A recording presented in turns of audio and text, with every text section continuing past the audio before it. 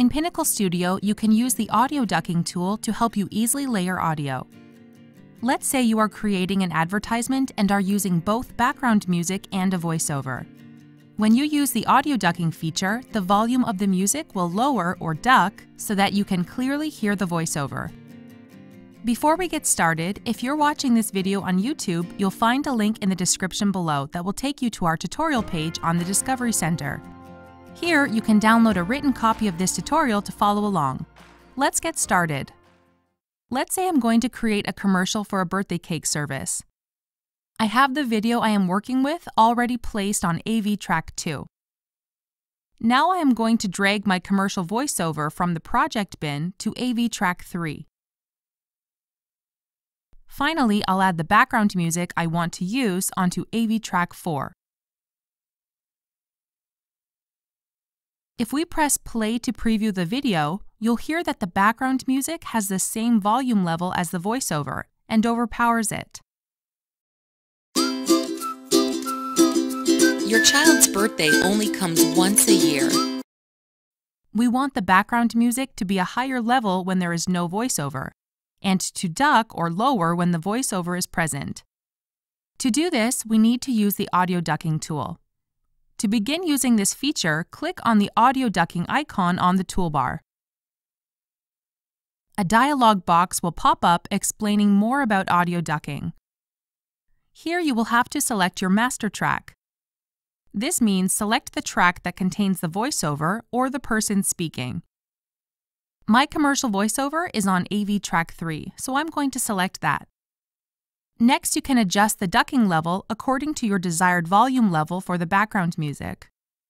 The ducking level is the percentage that your music volume will decrease.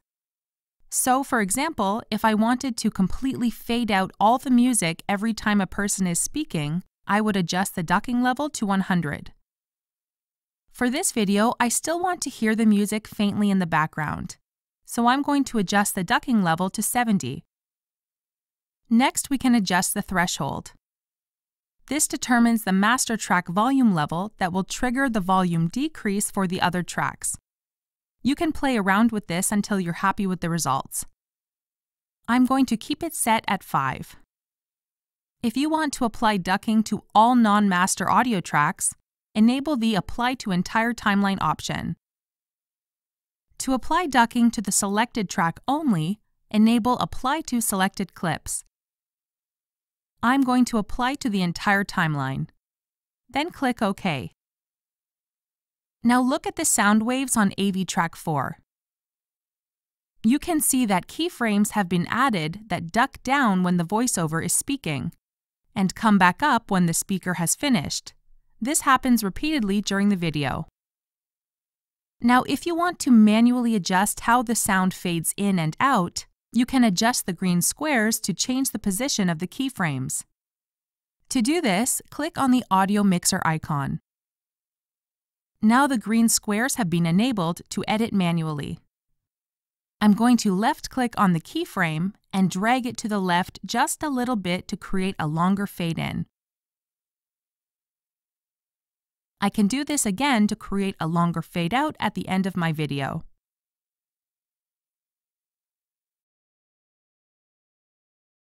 Now let's press play to preview.